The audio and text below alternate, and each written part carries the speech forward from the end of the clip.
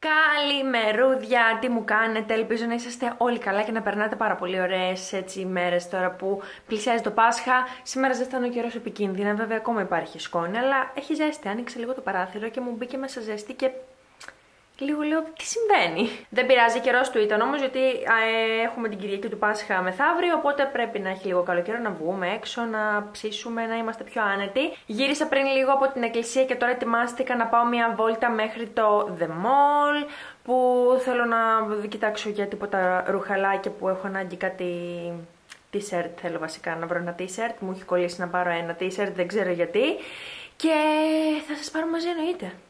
Πιστεύω να νομίζετε το αντίθετο.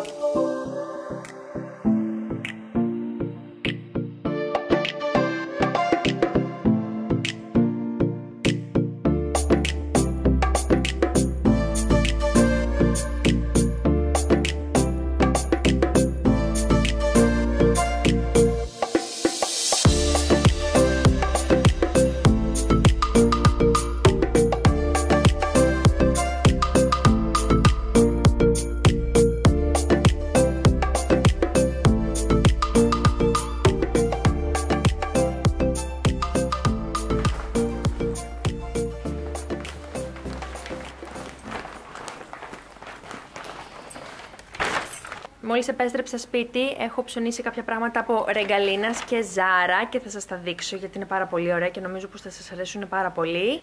Το ένα το φόρεσα γιατί ήθελα να το δείτε φορεμένο. Ήθελα να το δείτε φορεμένο για να το καταλάβετε. Το πήρα από το Ζάρα. Είναι πάρα πολύ ωραίο. Είναι κάτι μεταξύ ζακέτας και μπλούζας. Δεν ξέρω αν υπάρχει κάποια ονομασία. Αν υπάρχει, να μας το γράψετε. Δείτε πόσο όμορφο είναι.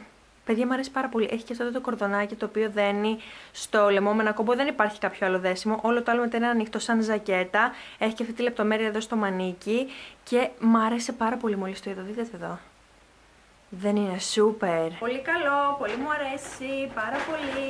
Και πήρα και αυτό εδώ πέρα το μαύρο, το οποίο το πήρα έτσι για πιο καλό. Και αυτό είναι από Ζάρα.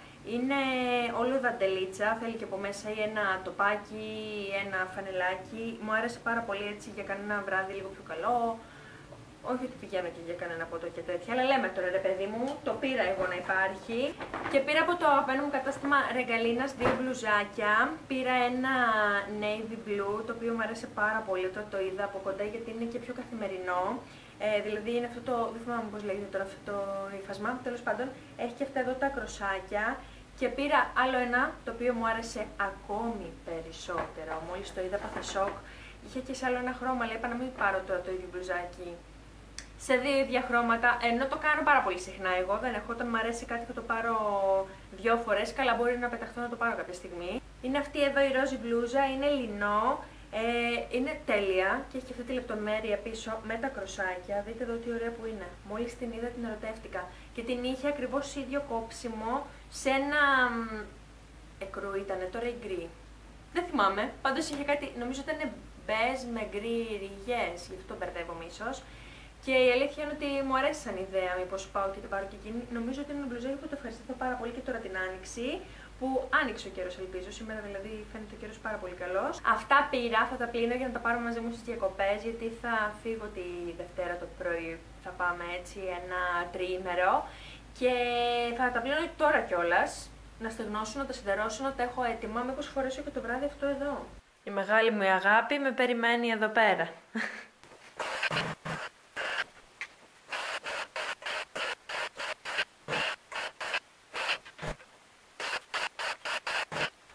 Και δεν φτάνει το σιδέρωμα που το βαριέσαι σαν διαδικασία που το βαριέσαι. Έχεις να βάλεις μετά και τα ρούχα στη θέση τους. Δηλαδή δεν τελειώνουν εκεί τα πράγματα. Αυτό με τα ρούχα παραπάει.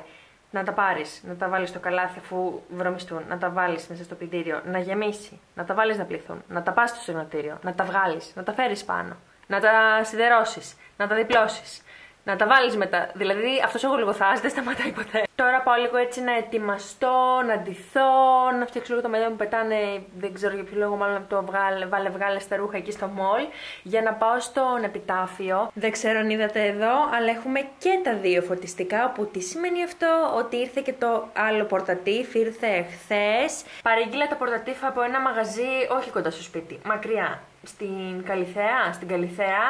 Ε, τώρα δεν θυμάμαι το όνομά του να σας πω την αλήθεια. Όλο τέτοια φωτιστικά είδη για ηλεκτρολόγου, τέτοια πράγματα είχε. οι άνθρωποι ήταν τόσο γρήγοροι. Ακόμα και, και αφού τα παρήγγειλα ήρθαν πάρα πολύ γρήγορα και στην αλλαγή ήταν πάρα πολύ γρήγοροι και δεν μου είπαν τίποτα που ήταν ελαττωματικό. Δηλαδή ήταν όλα πραγματικά καταπληκτικά και δεν θυμάμαι το όνομα τώρα να σας πω να ρίξετε μια ματιά αν ψάχνετε κάτι τέτοιο. Και επιτέλους έχουμε τα φωτιστικά. Οπότε είμαστε ακόμα ένα βήμα πιο κοντά σε ένα room tour. Τώρα θέλω να δω τι θέλω να αλλάξω τώρα στο δωμάτιο. Θέλω να δω τι θα κάνω με την τουλάπα και με το κουρτινόξυλο. Κουρτινόξυλο έχω βρει ένα, το οποίο δεν είμαι και πάρα πολύ σίγουρη για το στυλ του, γιατί εγώ τώρα έχω αυτό εδώ που είναι ολόκληρο ξύλο, ενώ αυτό που έχω δει είναι μόνο μία σωλήνα ε, inox που δεξιά και αριστερά έχει κάτι σαν διαμαντάκια. Αυτό έχω δει και ίσως πάρω αυτό, αλλά δεν είμαι και πάρα πολύ σίγουρη. Τώρα με την τουλάπα τι θα κάνω, ακόμα ψάχνουμε αν θα τη βάψω, αν θα κολλήσω τα πετσαρία, αν θα αλλάξω φύλλα.